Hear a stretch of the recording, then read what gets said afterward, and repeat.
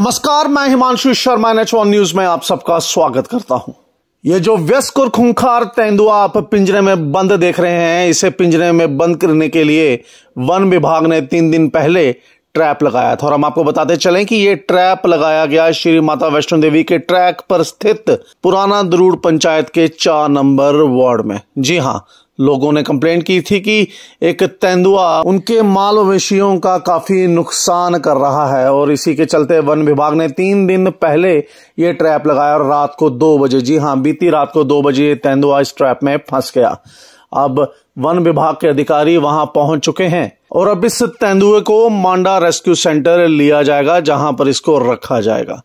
हम आपको बताते चलें कि वन अधिकारियों के हिसाब से लोगों ने कहा है कि यहाँ पर एक और तेंदुआ घूम रहा है, और जब हमारी बात हुई वन अधिकारियों से तो उन्होंने कहा कि एक और ट्रैप लगाया जाएगा और उस तेंदुए को भी जल्दी ही पकड़ा जाएगा। आप देखिए एनएच न्यूज़ की एक खास रिपोर्ट।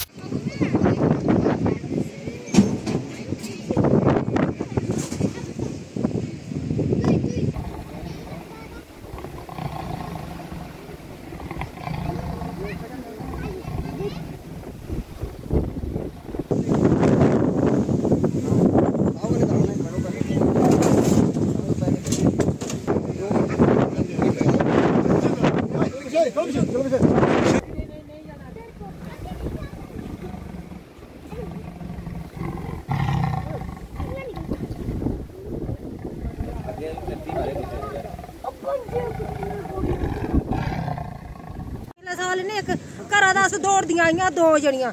ਐ ਪੱਥਰ ਮਾਰਿਆ, ਅਸੀਂ ਕੱਢਿਆ ਥੱਲੇ ਇਥੋਂ ਦਾ। ਪਿਛਲੇ ਸਾਲੇ ਦੀ ਗੱਲ ਹੈ।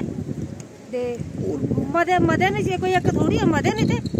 कोई तीन चार कल परसों भी लभ्या, रोज साढ़े बारह होते ने हम यहाँ के द्रूड के रहने वाले हैं। हमारा वार्ड नंबर चार में रहते हैं। और यहाँ के यहाँ तेंदुए ने बड़ा यहाँ पे आतंक मचाया हुआ है। हम चाहते हैं कि यहाँ पे और पिंजरे आए। हम स्कूल में जाते हैं। टाइम भी हमें यहाँ पे बहुत प्रॉब्लम होती है, डर लगता है। इसलिए हम चाहते हैं कि यहाँ पे